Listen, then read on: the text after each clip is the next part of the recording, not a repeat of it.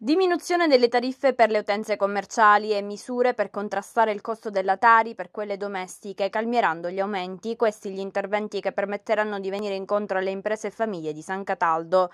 Così come spiega il sindaco Giacchino Comparato che sui social commenta le tariffe che sono state approvate quest'anno. Eh, stiamo e siamo eh, al lavoro sotto tutti i fronti per migliorare il servizio da questo punto di vista eh, eh, è già partito già da settimane un piano di scerbatura straordinario un piano di polizia straordinario perché pretendiamo il rispetto degli obblighi da parte del gestore.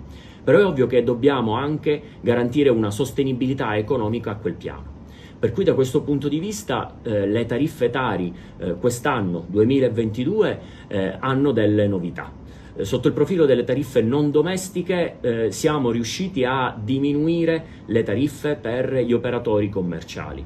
È una scelta che abbiamo fatto per venire incontro alle tante attività eh, economiche che in due anni di pandemia sono state fortemente eh, colpite. Si pensa dunque anche alle utenze domestiche lo si farà utilizzando un fondo di 280.000 euro circa. Una scelta che per quest'anno abbiamo fatto, ma l'abbiamo fatta perché non volevamo perdere eh, quel, quei fondi, quel denaro che non era stato speso nel 2021 e perché volevamo dare un servizio anche alle famiglie. Da questo punto di vista quel fondo di 280.000 euro e rotti verrà messo a disposizione nelle prossime settimane andremo a individuare i criteri con i quali i cittadini potranno agevolarsi di questo fondo e sicuramente verrà presa in considerazione le famiglie numerose, verranno prese in considerazione dei limiti reddituali, ma badate, limiti reddituali che devono permetterci di far spendere tutti quei soldi. Non vogliamo che neanche un euro torni indietro.